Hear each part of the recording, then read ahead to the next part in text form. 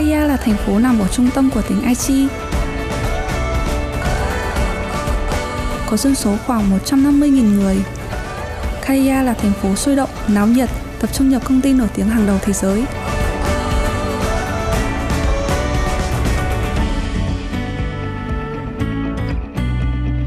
Đến ga Nagoya 17 phút và đến Tokyo khoảng 2 tiếng.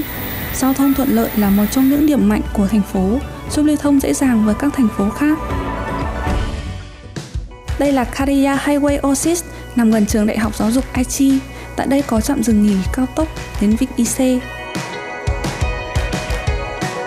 Có vòng đua quay rất lớn, có chiều cao khoảng 60 mét.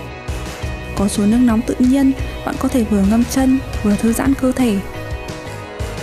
Bên cạnh Tokyo Disneyland và Universal Studios Japan thì số lượng du khách đến từ khắp nơi trên đất nước về đây tham quan xếp vị trí thứ ba tại Nhật Bản.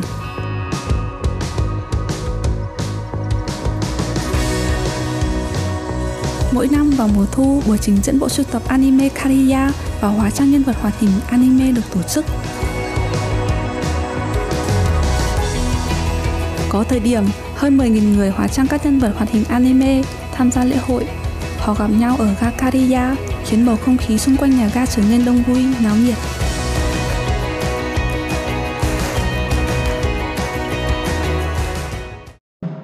Trước đây, thành phố Kariya phát triển rất phồn vinh, là khu phố cổ xung quanh thành Kariya. Tháng 7 mỗi năm, lễ hội đèn lồng Mando từ thời Edo khoảng 300 năm trước vẫn được tiếp tục lưu giữ và tổ chức.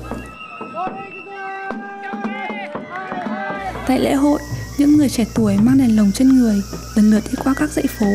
Mando tượng trưng cho sự hy vọng rằng thảm họa tự nhiên như hỏa hoạn sẽ không xảy ra.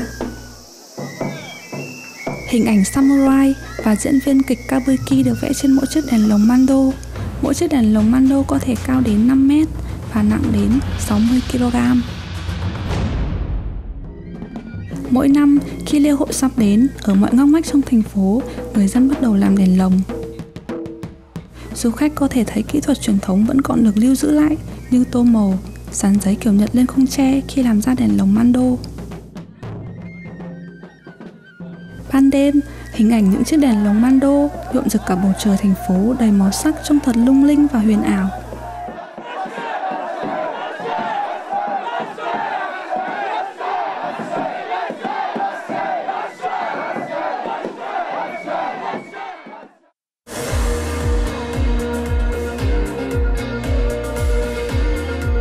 Bạn đã tìm thấy những nét đẹp quyến rũ của Kariya, một thành phố đầy truyền thống văn hóa và lịch sử của Nhật Bản rồi chứ?